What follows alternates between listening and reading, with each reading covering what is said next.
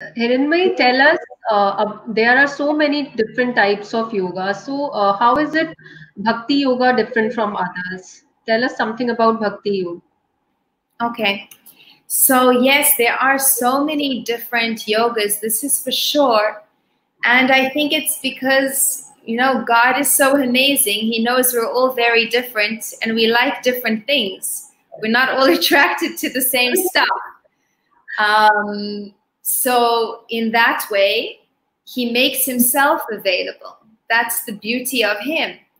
But in the Bhagavad Gita, it actually speaks about, you know, Krishna takes you through different stages. The first six chapters, he takes you through karma yoga. And karma yoga is about, you know, giving your actions handing over and surrendering your actions to the Lord so that basically we're not sitting, we're not thinking that we are doing everything. Because when we think that we're doing everything, we're building up more karma. But we're basically handing this over and we're saying, okay, whatever the results are of all of my actions, you deal with it. I don't want to deal with it. So, hmm. whatever actions I do, I hand it over to you so I don't have to worry about the fruits of my actions, right? This is karma yoga. And karma yoga also has to do with um, lokasangraha.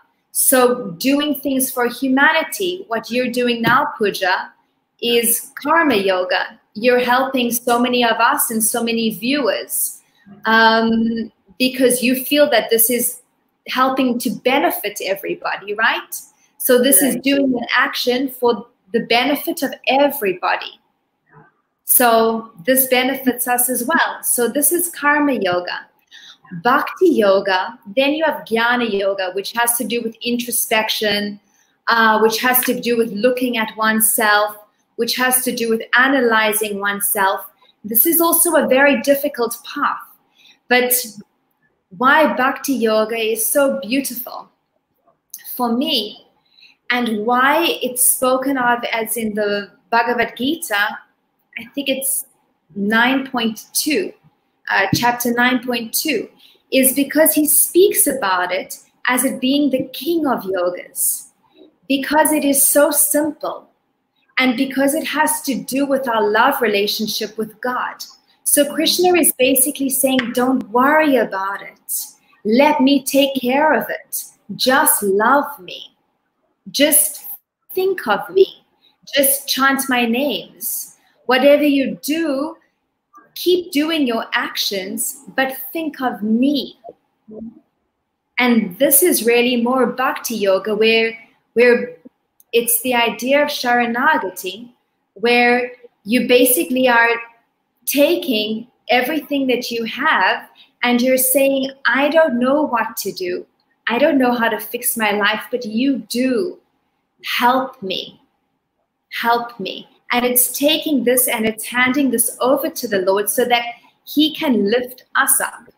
Because we don't have the power to do something like this, but He does. So There's beautiful. a very, it's very beautiful. There's um in the Bhagavad Gita in the last chapter, chapter 18, I think verse 66, he says, um, Sarvadharman Parityajya Mamekam Sharanam Vraja. What he's saying is that he says, surrender to me, love me, and don't worry about everything. I will take care of all of your sins and I will wipe away all of your sins. You basically just think of me and make this your main aim.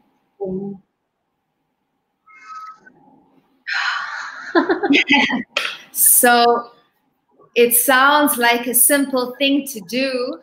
Mm. And it sounds, you know, when you when you think about it, it's like, yes, of course, this makes such sense.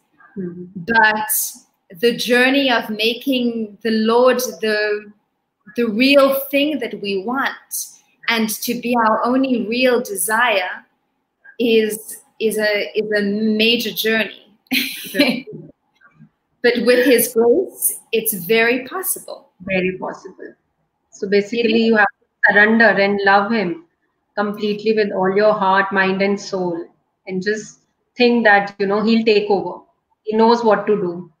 That is that is bhakti yoga. You know, it's so mm-hmm. simple. Guruji always speaks about it. It's about our relationship with him. And every single one of us have got a completely different relationship with God. My relationship with him is completely different to yours because our journeys are different, our souls are different. You know, and that is why it's so beautiful when I when I see Guruji looking at people, especially in places like Darshan. It's so magnificent because the respect and the love that he has for every single person is mind blowing because he sees the soul and he sees this aspect of God inside of everybody fully. And when you see that in somebody, it must be such an incredible thing.